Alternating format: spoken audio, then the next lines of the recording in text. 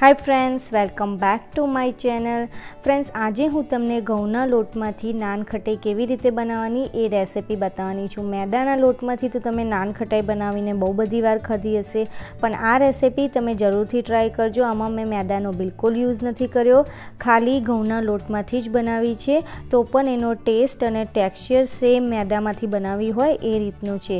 તો ચાલો ઝડપથી જોઈ લઈએ અને કેવી રીતે બનાવવાની. સૌથી પહેલાં એક વાસણમાં એક કપ ઘઉંનો લોટ એડ કરીશું. જે આપણે રોટલી બનાવવા લોટ લઈએ, એ જ લોટનો મેં અહીંયા યુઝ કર્યો છે. તેમાં અડધો કપ પાવડર શુગર એડ કરીશું.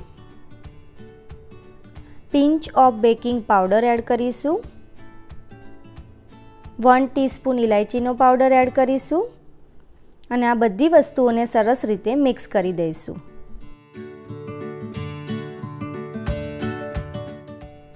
અહીંયા મેં હાફ કપ ઓગાળેલું દેશી ઘી લીધું છે. એને આપણે થોડું થોડું એડ કરીને મિશ્રણ તૈયાર કરીશું. એક ટાઈમમાં થોડુંક જ ઘી એડ કરવાનું છે. બધું ઘી એકસાથે એડ નથી કરવાનું. એને થોડું થોડું એડ કરી અને આપણે લોટ તૈયાર કરીશું.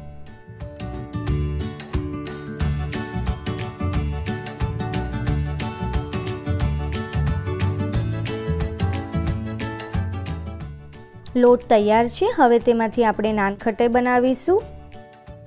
અહીંયા થોડાક પિસ્તા મેં ગાર્નિશિંગ માટે લીધા છે અને બેકિંગ ટ્રેને ફોઇલથી રેપ કરીને બેક કરવા માટે રેડી કરી દીધી છે.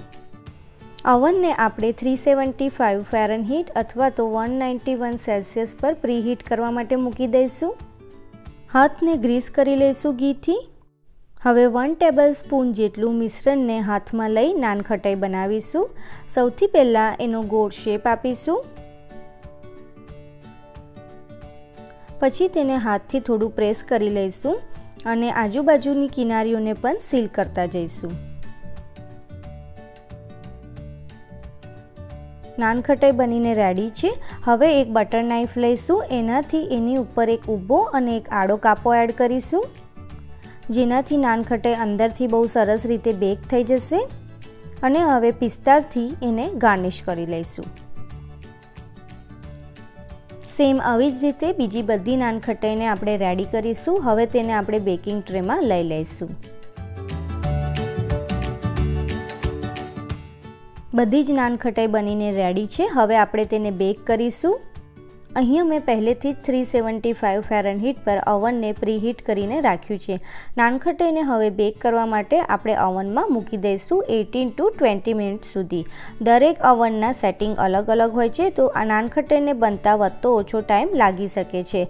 અહીંયા મને ટોટલ વીસ મિનિટ લાગી હતી, એને બેક કરતાં નાનખટાઈ બનીને રેડી છે, એને વાયર રેક પર ઠંડી થવા માટે મૂકી દઈશું. નાનખટાઈ ઠંડી થઈ જાય, પછી તેને એરટાઇટ ડબ્બામાં ભરી તમે પંદરથી વીસ દિવસ સુધીને એનો યુઝ કરી શકો છો. ફ્રેન્ડ્સ તમે મારી આ રેસિપી જરૂરથી ટ્રાય કરજો અને મને કમેન્ટ બોક્સમાં જણાવજો કે તમને આ રેસિપી કેવી લાગી. તમને જો મારો આ વીડિયો પસંદ આવ્યો હોય તો લાઇક કરજો અને શેર કરજો. મારી ચેનલને સબસ્ક્રાઈબ કરવાનું ના ભૂલતા. ફરીથી મળીશું નવી રેસિપી સાથે.